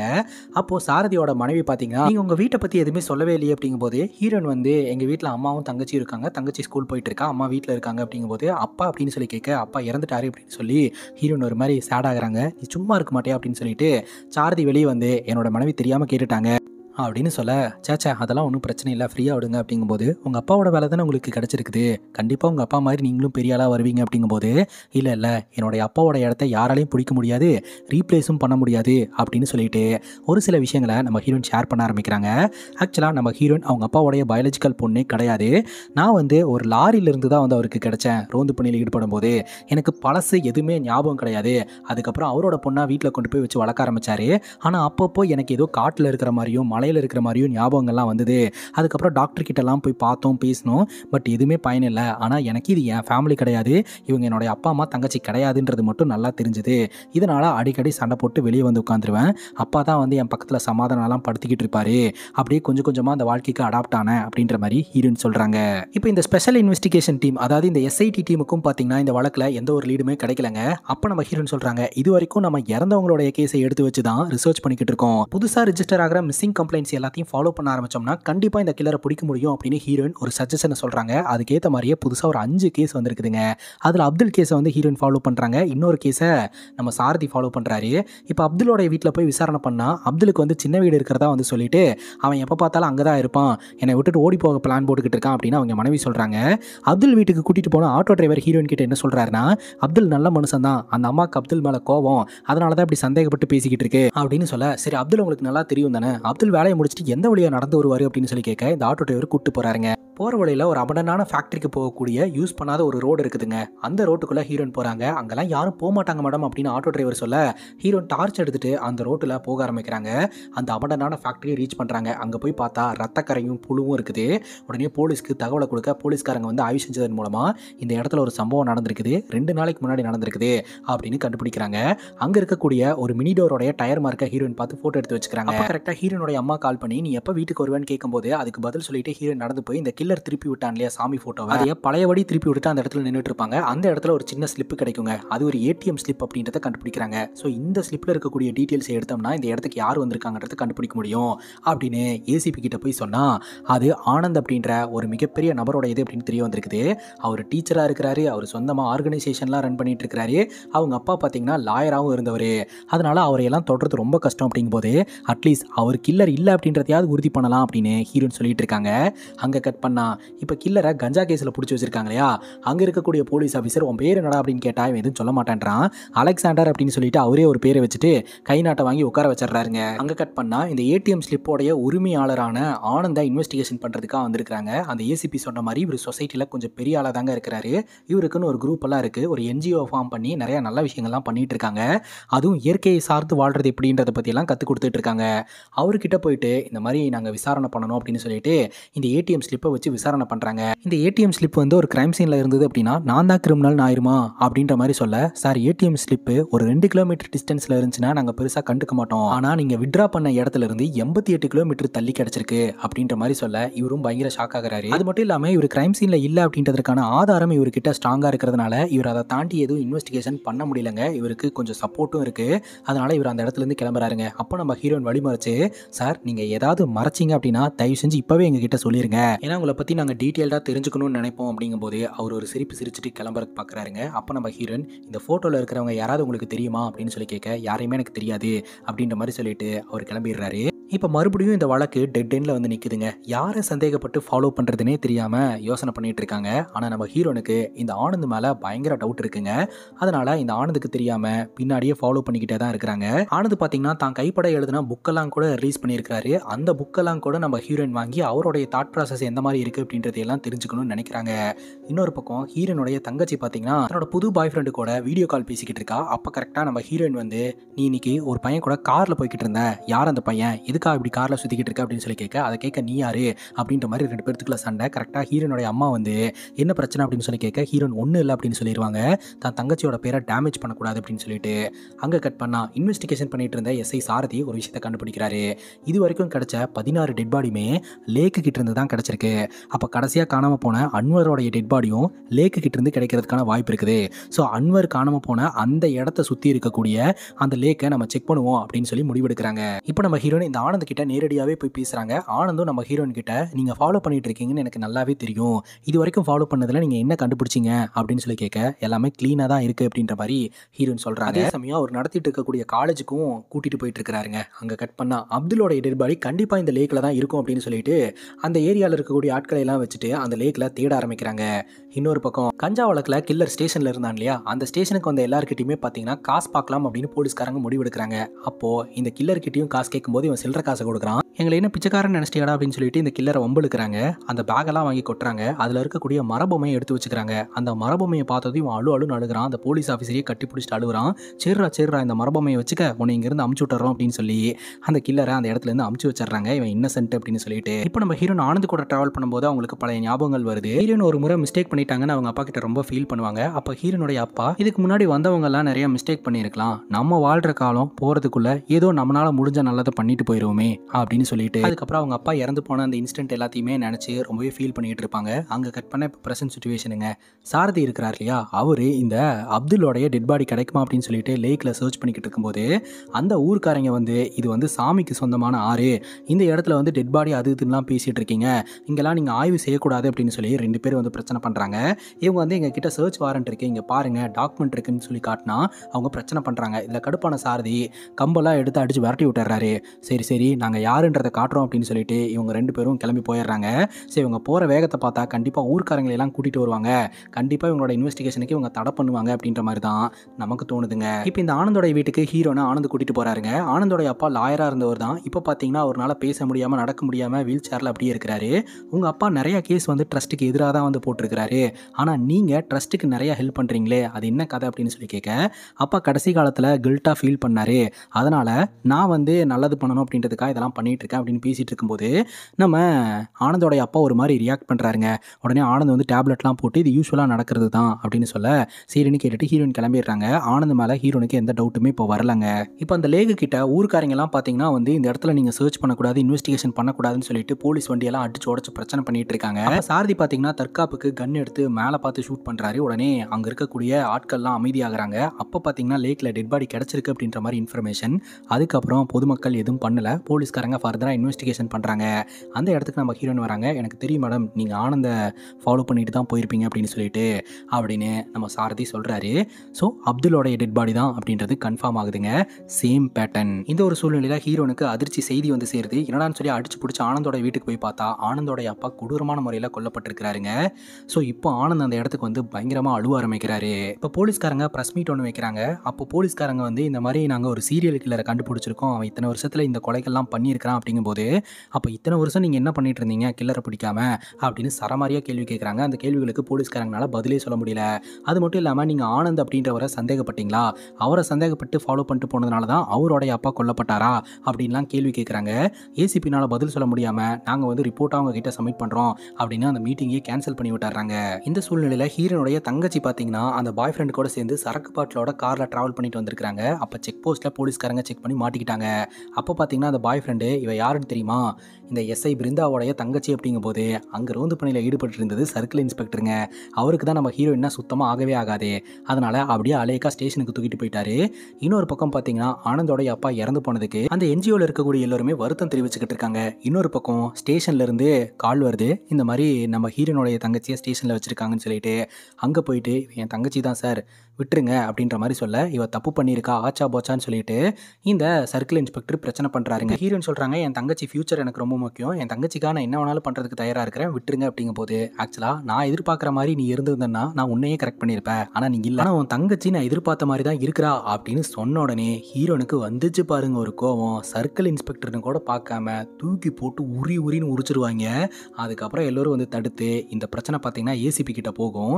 இது என்ன போலீஸ் ஸ்டேஷன் நினைச்சு ரவுடித்தனம் பண்ணுற இடம்னு நினச்சிங்களா? அப்படின்னு சொல்லி திட்டுறாரு. அதுக்கு ஹீரோயின் இவர் என்ன வேலை பார்க்க விட மாட்டேன்றாரு அப்படின்னு சொல்ல சர்க்கிள் இன்ஸ்பெக்டர் இவன் என்னை எஸ்ஐடி டீம்ல இருந்து பிளான் பண்ணி தூக்கிட்டான்னு சொல்லி வாக்குவாதம். எண்ட் ஆஃப் த டே பார்த்தீங்கன்னா நம்ம ஹீரோயினை சஸ்பென்ஷனில் அமுச்சு விட்டுறாங்க. ஏன்னா ஹீரோயின் சர்க்கிள் இன்ஸ்பெக்டர் மேலே கையை வச்சிருக்காங்க. எஸ்ஐ சாரதி வந்து நீங்கள் இருந்தாலும் அவர் மேலே கை வச்சிருக்க கூடாது அப்படிங்கும்போது எப்போ பார்த்தாலும் உங்கள் பாஸ்க்கே சப்போர்ட் பண்ணிட்டு இருங்க. ஏன்னா உங்களுக்கு ப்ரொமோஷன் தேவைப்படுதில்ல அப்படிங்கும்போது நீங்கள் கரெக்டாக பேசுங்க மேடம் இந்த மாதிரிலாம் பேசாதீங்க. வழக்கு இவ்வளோ தூரம் வந்ததுக்கு கண்டிப்பாக நீங்கள் தான் காரணம். ஆனால் எனக்கு டியூட்டி முக்கியம் மேடம் அப்படின்னு சொல்லிட்டு ஒரு பாட்டுக்கு கிளம்பி போயிடுவார் வீட்டுக்கு போயிட்டும் அவர் பயங்கர கோவத்தில் இருக்கிறாரு. அந்த டைமில் நம்ம சாரதியோட மனைவி பார்த்தீங்கன்னா ப்ரெக்னென்சியை கன்ஃபார்ம் பண்ணியிருக்காங்க. அந்த சந்தோஷமான விஷயத்தை ரிவீல் பண்ணணும்னு நினைப்பாங்க. ஆனால் அதுக்குள்ளேயே பார்த்தீங்கன்னா ஸ்டேஷனில் பிரச்சனை அதுக்கப்புறம் மாமியார் குழந்தை இல்லைன்னு பிரச்சனை எல்லாத்தையும் மனசுக்குள்ளே போட்டுட்டு பொண்டாட்டிக்கிட்ட சண்டை போட்டுருவாரு. பொண்டாட்டியும் ரிவீல் பண்ண மாட்டாங்க. இப்போ நம்ம ஹீரோயின் போயிட்டு ஆனந்துக்கிட்ட என்னால் தான் உங்கள் அப்பா இறந்து போனார். நான் உங்களை ஃபாலோ பண்ணிட்டு இருந்தேன்னு சொல்லிட்டு தான் கில்லர் வந்து எப்படியோ டார்கெட் பண்ணி உங்கள் அப்பாவை கொண்டிருக்கான் அப்படிங்கும்போது சரி விடுங்க இப்படி நடக்கணும்னு இருந்தால் நடக்கத்தான் செய்யும். என்கிட்ட ஒரு மனுஷர் சொன்னார் நிறைய பேர் தப்பு பண்ணியிருப்பாங்க. ஆனால் நம்ம வந்து நம்மளால் முடிஞ்ச நல்லது பண்ணணும். அப்படின்னு சொல்லிட்டு ஆனந்த் அங்கேருந்து போயிடுவார் ஹீரோனு கிளம்பிடுவாங்க ஹீரோன் ஆட்டோவில் போகும்போது ஒரு யோசனை வருது. எப்படியும் இந்த அப்துல்லோடைய டெட் பாடியை அந்த சாக்கடைக்குள்ளே டம்ப் பண்ணுறதுக்கு ரயில்வே ட்ராக்கை கிராஸ் பண்ணியிருப்பான் அந்த இடத்துல சிசிடிவி கேமரா இருக்குது அதில் கண்டிப்பாக அவனோட வெஹிக்கிள் வந்து கேப்சர் ஆயிருக்கும். அதை வச்சு கில்லரை கண்டுபிடிக்க முடியும் அப்படின்ட்டு. எஸ்ஐ சாரதியோட உதவியோட ஹீரோயின் சஸ்பென்ஷனில் இருந்தாலும் இன்வெஸ்டிகேஷன் பண்ணுறாங்க அந்த இன்வெஸ்டிகேஷனில் ஹீரோயின் ஆல்ரெடி பார்த்தீங்கன்னா அந்த ஃபேக்ட்ரியிலேருந்து ஒரு மினி டோரோடைய டயர் மார்க்கை கேப்சர் பண்ணியிருப்பாங்க ஸோ அது கண்டிப்பாக அது மினி டோர் தான் அப்படின்னு சொல்லிட்டு அந்த வழியில் வந்து அந்த மினி டோரை கேப்சர் பண்ணி அதாவது சந்தேகத்துக்கு இடமா சிசிடிவி கேமரால ரெக்கார்ட் ஆயிருக்கிற அந்த வெஹிக்கிளோடைய ரெஜிஸ்ட்ரேஷன் நம்பரை எடுத்து ட்ராக் பண்ணி பார்த்தா அது ஆல்ரெடி போலீஸ் கிட்ட மாட்டியிருக்குன்னு தெரிய வருது. அந்த போலீஸ் ஸ்டேஷனில் போய் விசாரணை பண்ணும்போது தாங்க தெரிய வருது. இந்த மாதிரி அவனை கஞ்சா கேஸில் தூக்கிட்டு வந்தோம். ஆனால் அவன் ரொம்ப இன்னசென்ட் சொல்லிட்டு அமிச்சிட்டோம் அப்படிங்கும்போது சரி அவனோட டீட்டெயில் ஏதாவது வாங்கினீங்களா அப்படின்னு கேட்க அவன் பேரை கூட சொல்லலைங்க. ஆனால் கைரேகையை மட்டும் வாங்கி வச்சோம் அப்படின்னு சொல்ல அந்த கைரேகையை வச்சு ஸ்கேன் பண்ணதில் அவனுடைய பேர் தாகூர் அப்படின்னும் அவன் நார்த் இந்தியாவை சார்ந்தவனும் தெரிய வருதுங்க. ஸோ நார்த் இந்தியாவில் பார்த்தீங்கன்னா அவன் இருந்த அந்த ஏரியாவில் போயிட்டு விசாரணை பண்ணால் அங்கே இருக்கக்கூடிய யாருமே தாக்கூரை பற்றி சொல்கிறதுக்கு முன் வரவே மாட்டாங்க. அப்படியே சொல்கிறதுக்கு வந்தாலும் பின்னாடி இருந்து யாரோ ஒருத்தங்க மிரட்டுறாங்க. தாகூரை பற்றி யாருமே மூச்சு விட மாட்டேன்றாங்க. ஆனால் அங்கே இருக்கக்கூடிய ஒரு நபர் பார்த்தீங்கன்னா இவங்களுக்கு ஹெல்ப் பண்ணணும்னு நினைக்கிறாரு. தாகூரை பற்றின கதையை சொல்ல ஆரம்பிக்கிறாருங்க. தாகூர் இந்த கிராமத்தோடைய சாபமாக தான் பார்த்துருக்காங்க. ஏன்னா தாகூர் பிறக்கும் போதே அவங்க அம்மா இறந்து போயிட்டாங்க. அவங்க அப்பாவும் இறந்து போயிட்டாங்க. தாத்தா பாட்டி தான் பார்த்தீங்கன்னா தாகூரை வளர்க்க ஆரம்பிச்சிருந்துருக்காங்க இவன் போன ஜென்மத்தில் பன்னெண்டு பேர்த்த கொலை பண்ணதாகவும் அவனுடைய சாபம் இன்னும் துரத்திக்கிட்டு இருக்கிறதாகவும் இவனால் இந்த கிராமத்துக்கெல்லாம் வந்து கெட்ட பேர் தான் வரும். இந்த கிராமத்தில் இருக்கிறவங்களுக்குலாம் கஷ்டம் தான் வரும் அப்படின்ற மாதிரி சொல்லியிருந்திருக்காங்க அதுக்காகவே தாக்கூரை அவங்க தாத்தா பாட்டி வச்சு பூஜையெல்லாம் பண்ணி வச்சுட்டு இருந்திருக்காங்க அதுக்கப்புறம் தாக்கூரை வீட்டுக்குள்ளே விடாமல் செயினில் கட்டி போட்டு சக மாணவர்கள்லாம் விளையாடும் போது இவன் ஸ்கூலுக்கும் போகாமல் வீட்லேயே இருந்துக்கிட்டு ரொம்ப கஷ்டப்பட்டுட்டு இருந்திருக்கிறான். ஒரு நாள் பார்த்தீங்கன்னா அடுத்தடுத்து ஊருக்குள்ளே எல்லாரும் இறந்து போக ஆரம்பிச்சிருந்துருக்காங்க அதுக்கு காரணம் இவன் தான் சொல்லிட்டு இவனை கொன்றலான்னு சொல்லிட்டு கொண்டு வந்திருக்கிறாங்க. அப்போ இவன் கட்டலாக ஊத்துட்டு ஓடி வந்து என்னை கொல்ல பார்க்குறாங்க பாட்டி காப்பாற்றுங்க அப்படிங்கும் போது அவங்க பாட்டியும் பார்த்தீங்கன்னா பிடிச்சி கொடுக்க தான் பார்த்துருக்கு அதனால அவங்க பாட்டியை கொண்டுட்டு அந்த இடத்த விட்டு தப்பிச்சு வந்துட்டாங்க. இதுதான் பார்த்தீங்கன்னா தாக்கூரோட ஹிஸ்ட்ரி இதுக்கப்புறம் இவங்க எங்கே போனால் என்னான்னு தெரியல. மேபி கொலை வழக்கில் இவன் அந்த சிறுவர் சீர்திருத்த பள்ளிக்கு போயிருக்கலாம் அப்படின்றது தெரிய வருதுங்க. அங்கே கட் பண்ணால் நம்ம ஹீரோனுடைய ரூமில் ஜன்னல் கண்ணாடி உடஞ்சிருக்கு அப்படின்ட்டு நம்ம ஹீரோனுடைய அம்மா வந்து ஒரு நியூஸ் பேப்பர் கட்டிங் எடுத்து வச்சு அதை வந்து மறைச்சிக்கிட்டு இருக்காங்க அப்போ இந்த நியூஸ் பேப்பர் கட்டிங்கில் ஹீரோன் ஏதோ ஒரு விஷயத்தை பார்த்து பயங்கர ஷாக் ஆகுறாங்க.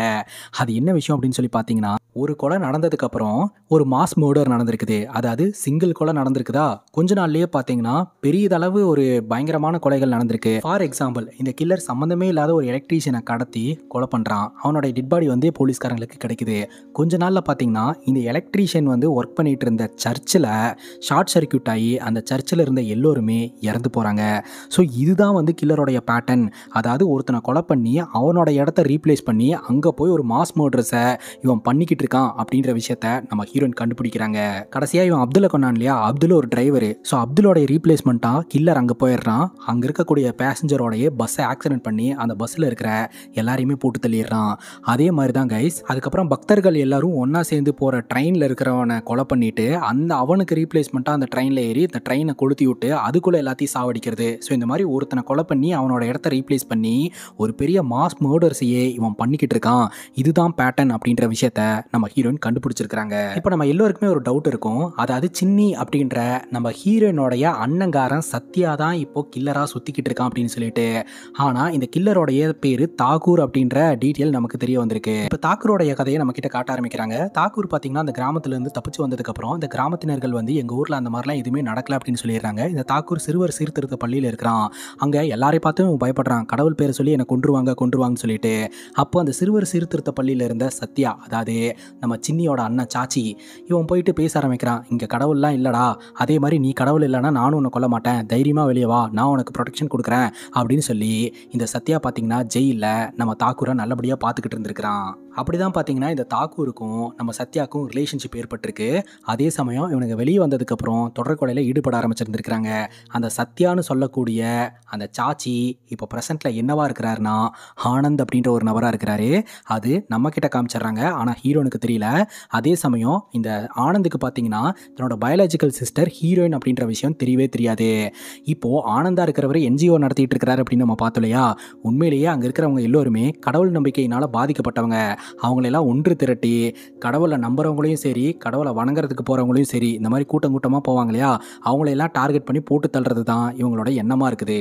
இப்போ இந்த ஆனந்த் பார்த்தீங்கன்னா தாக்கூர் ஒரு இடத்துக்கு வர சொல்ல தாக்கூர் வந்துட்டு சாரி நான் பண்ண சின்ன மிஸ்டேக் தான் அந்த ஏடிஎம் ஸ்லிப்பு நீ மாட்டியிருப்ப அவனை அரெஸ்ட் பண்ணியிருப்பான்னு நினச்சேன். அப்படிங்கும் போது நம்மளையெல்லாம் யாருனாலையும் பிடிக்க முடியாது. நீ ஒன்றும் கவலைப்படாத அப்படின்ற மாதிரி தாக்கூருக்கு இந்த ஆனந்த் அட்வைஸ் பண்ணி வச்சுட்டு இருக்கிறாருங்க இப்போ ஹீரோனுக்கு ஒரு டவுட் வருது. இது வரைக்கும் எல்லாத்தையும் கொலை பண்ணி அவங்களோட இடத்த ரீப்ளேஸ் பண்ண இந்த கில்லர் எதற்காக ஆனந்தோடைய அப்பாவை கொலை பண்ணா அப்படின்னு சொல்லிட்டு ஆனந்த் கிட்ட விசாரணை பண்ணுறதுக்காக போகிறாங்க அப்போ தான் ஆனந்த் சொல்கிறாரு கொஞ்ச நாளைக்கு அப்புறம் என்னுடைய அப்பா வந்து ஒரு ஆன்மீக பயணத்துக்கு போகலான்னு இருந்தார் அப்படின்னு சொல்லிட்டு அப்போ அதை டார்கெட் பண்ணி தான் இந்த கில்லர் கொலை பண்ணியிருக்கிறான் அப்படின்ற மாதிரி ஹீரோயின் புரிஞ்சுக்கிறாங்க. இப்போவும் ஆனந்த் மேலே ஹீரோனுக்கு டவுட் வரல. அந்த என்ஜிஓவில் இருக்கிறவர் சொல்கிறாரு இவ அடிக்கடி இந்த இடத்துக்கு வந்துட்டு போகிறது எனக்கு சுத்தமாக பிடிக்கல. இவ கதையை முடிச்சாதான் கரெக்டாக இருக்கும் போல அப்படிங்கும்போது ஆனந்த் சொல்கிறாரு நேச்சுரலாகவே இவ கதையை முடிக்கணும்னு எனக்கு தோணவே இல்லை.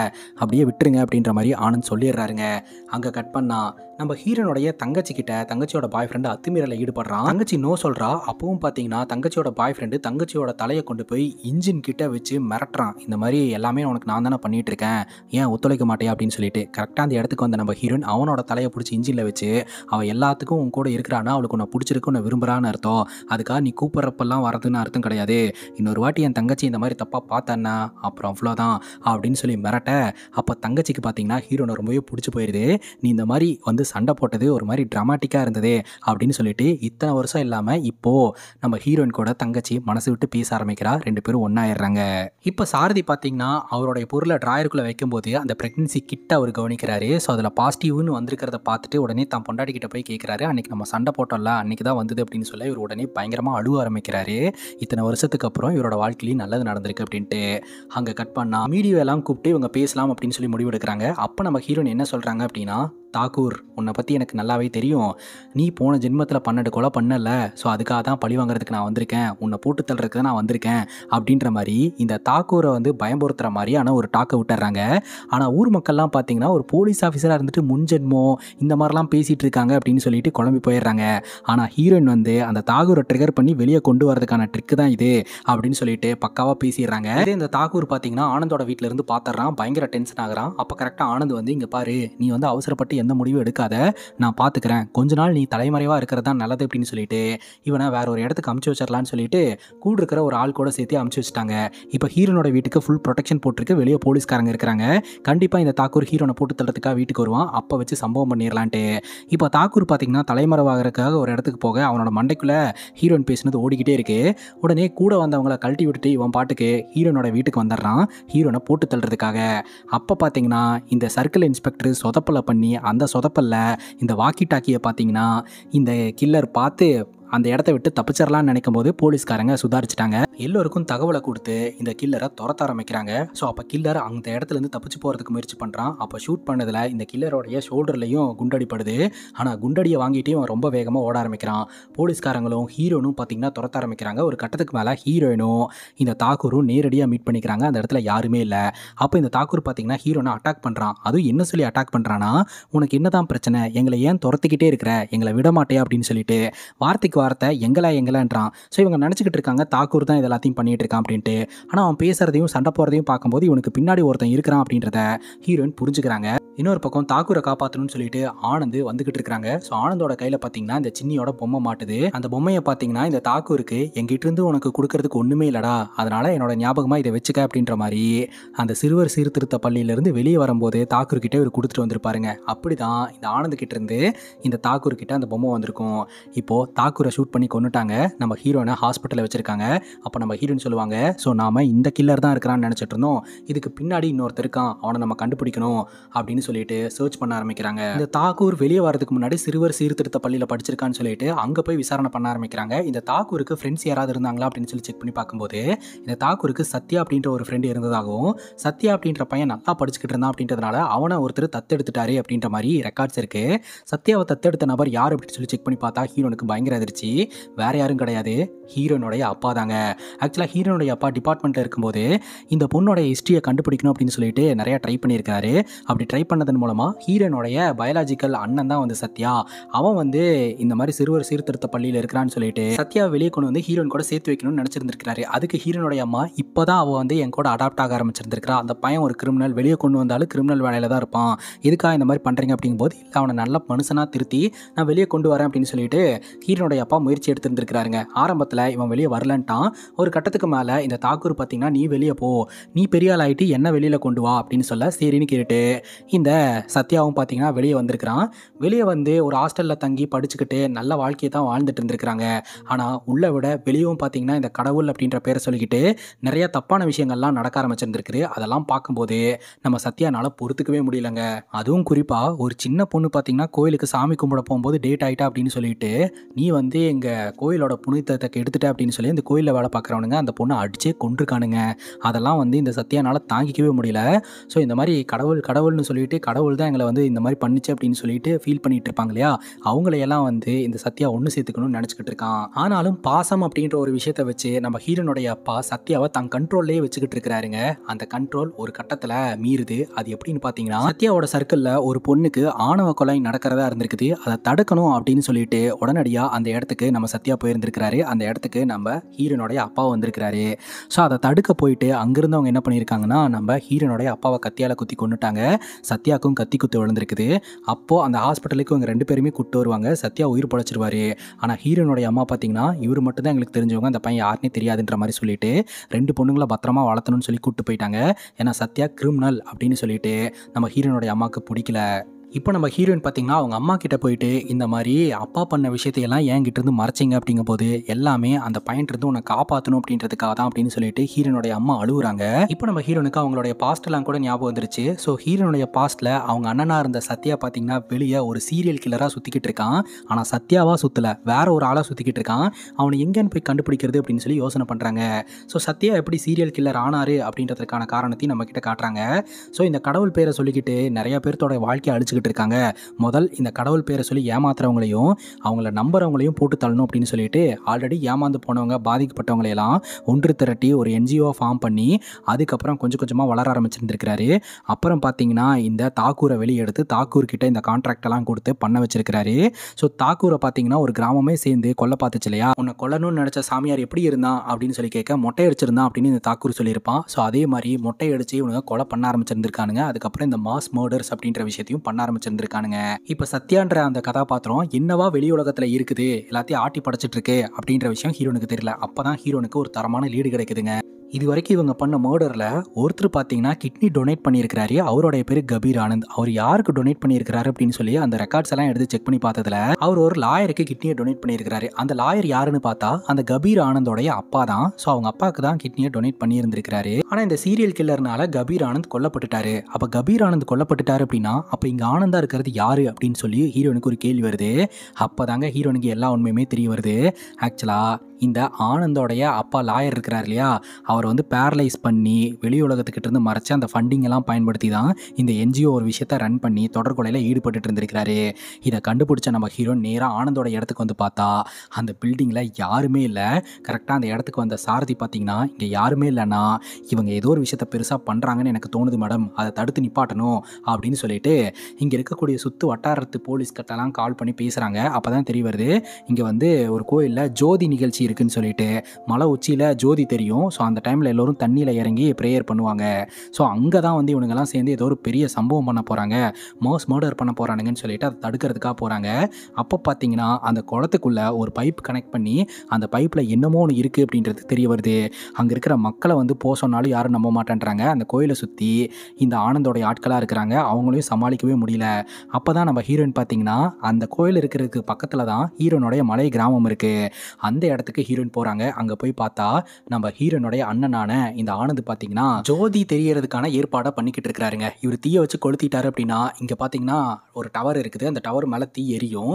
அதை பார்த்து ஜோதி தெரிஞ்சிருச்சு அப்படின்னு சொல்லிட்டு பக்தர்கள் எல்லாம் தண்ணிக்குள்ளே இறங்குவாங்க. அந்த தண்ணியில் இருக்கக்கூடிய பாய்சன் பட்டு அங்கே இருக்கக்கூடிய எல்லோருமே இறந்து போயிடுவாங்க இதுதான் இந்த ஆனந்தோடைய பிளானுங்க அந்த இடத்துக்கு வந்த நம்ம ஹீரோயின் சாச்சி அப்படின்னு சொல்ல இது எப்படி உனக்கு தெரியும்? அப்படின்னு சொல்ல நான் தான் உன்னுடைய தங்கச்சி அப்படிங்கும் போது இதெல்லாம் ட்ரிக்கு என்னை ஏமாத்தணும்னு நினைக்காத அப்படிங்கும் போது இல்லை இல்லை. உண்மையிலேயே நான் தான் உன்னுடைய தங்கச்சி இவ்வளோ நாள் நான் செத்துட்டு தான் நீ நினச்சிக்கிட்டு இருந்த உண்மையிலேயே நான் சாக கிடையாது.